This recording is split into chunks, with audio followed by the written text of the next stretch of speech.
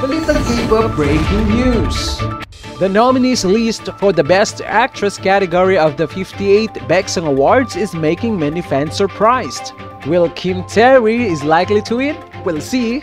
Baeksang Arts Awards is one of the most prestigious and incredible awards in Korean film industry has finally released nominations for the upcoming awards ceremony this year.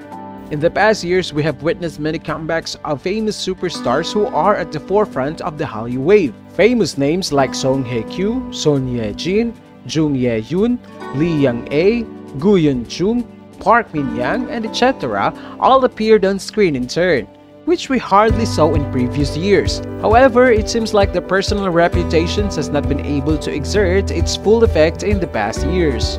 Baeksang's Best Actress nominations this year include five names. Kim Tae-ri of 2521, Kim Hye-soo of Juvenile Justice, Park Eun-bin of The King's Affection, Lee Se-young of The Red Sleeve, and Han So-hee of My Name. All five of these names are quite familiar to the audience for their works in the previous years.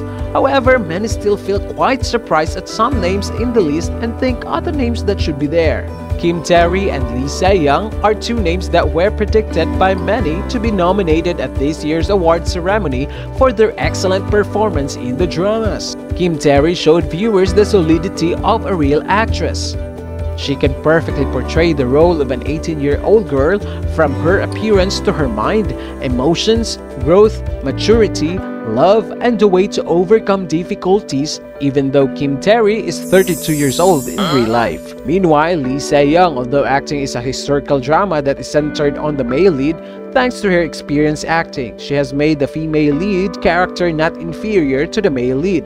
She succeeded of showing emotions like crying, laughing, suffering, and etc. Lee Se-young's role as a court lady really makes the red sleeve softer and more attractive. Not only does she shines for herself, she also beautifies Lee Jun-ho's character. Many consider Kim Tae-ri and Lee Se-young to be the two strongest candidates to win this year's award. In all aspects, these two performances are the most impressive. The dramas are also approximate in terms of content and reputations. And of course, whoever wins the award deserves it.